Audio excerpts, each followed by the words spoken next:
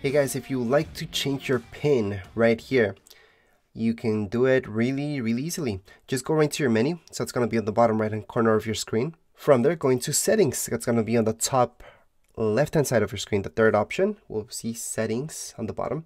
And then right here, you're going to see account settings, your first option. From there, our very last option will say reset MetaQuest pin. Just go ahead. Then it's just going to load in. So you can go ahead and tap on forgot pin if you forgot it. But if you just want to change it, you can put your current pin and then you can go ahead and put in your new one.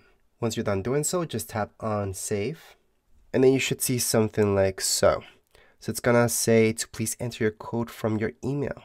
So you do have to do that in order to verify that's you and nobody's hacking into your stuff. So go right into your email, you're gonna see a code. Now the email title will say Oculus verify your identity. Then it's gonna give you a code. The code that I'm gonna show you is gonna be different than the one that you're gonna be getting. But it's good to show you an example of how the code would look like. So here you go, press on submit, and that's it, you're done. You just changed your pin.